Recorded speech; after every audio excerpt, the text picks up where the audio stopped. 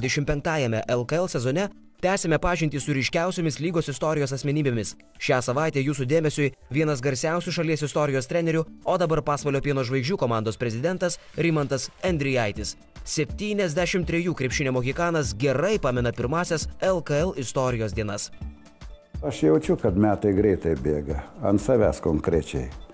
O kadangi aš e, labai senai krepšinėje, faktiškai nuo 63 metų toks aktyvus jau krepšinėje esu, tai mačiau, kaip, kaip Lietuvos krepšinis kūrėsi ir kaip lyga kūrėsi. Labai didelę įtaką ir e, gerą žingsnį padarė Šarūnas Marčiulionis, kuris turėjo patirties, būdamas NBA žaidėjų, jis domėjosi, kaip kas organizuojama ir e, daug ką pritaikė, gerų dalykų atvežė į Lietuvą ir įkūręs lygą mums pritaikė ir maiškino.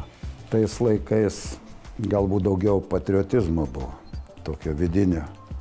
Vidinio patriotizmo, noro save parodyti, noro atsiskleisti. Ir nebuvo taip, kad kiek tu algos begautum, kaip sako, bet tu dirbi ir dirbi tam klubui iš idėjos. Idėjos daugiau buvo.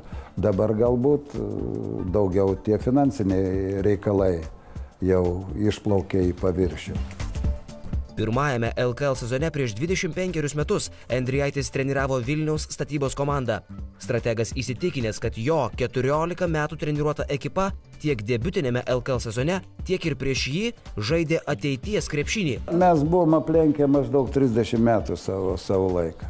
Nu kaip galėjo statybos vyrukai, kur aukščiausias 2 metrai, ar ten su kepurė 2 metrai aploš CSK, nu, įsivaizduojat. Rygoje, hokėjų sporto rūmose, kur 10 tūkstančių. CSK, prieš CSK laimėjom. Arba laimėjom prieš Kievo Struitelį su Tkačenka, Belostenu ir ten kit, kitom Ukraino žvaigždėm. Nu tai kažką reikėjo daryti, ne? Rimantas Endrijaitis Lietuvos krepšinio lygoje treniravo net penkias komandas - Vilniaus statybą, Plungės Olimpą, Šilutės Šilutę, Alitaus Alitą ir Pasvalio pieno žvaigždės. Itin šiltus prisiminimus treneriui kelia ne tik Vilniaus statyba, bet ir darbas Plungėje.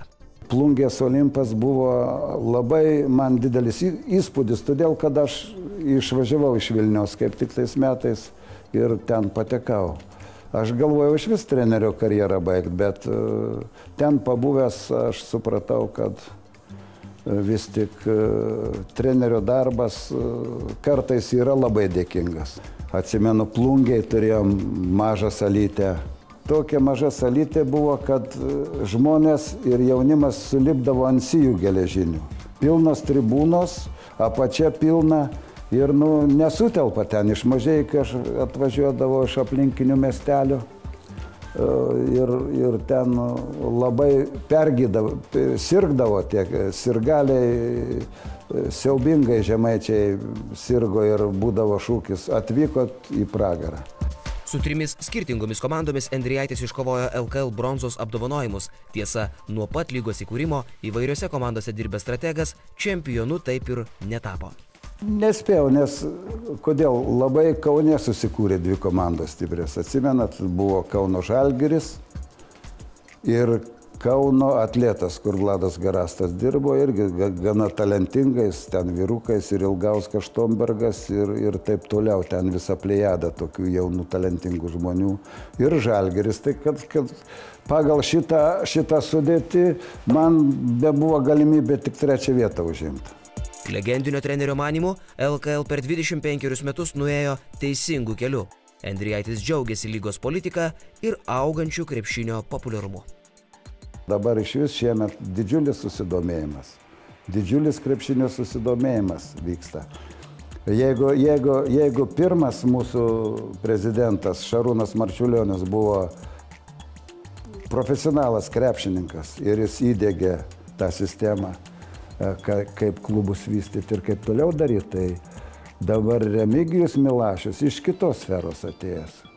Iš biznio sferos jis irgi domisi, žiūri ir yra nepaprastai įsijautęs į, į mūsų reikalus irgi ir vystosi tas krepšinis.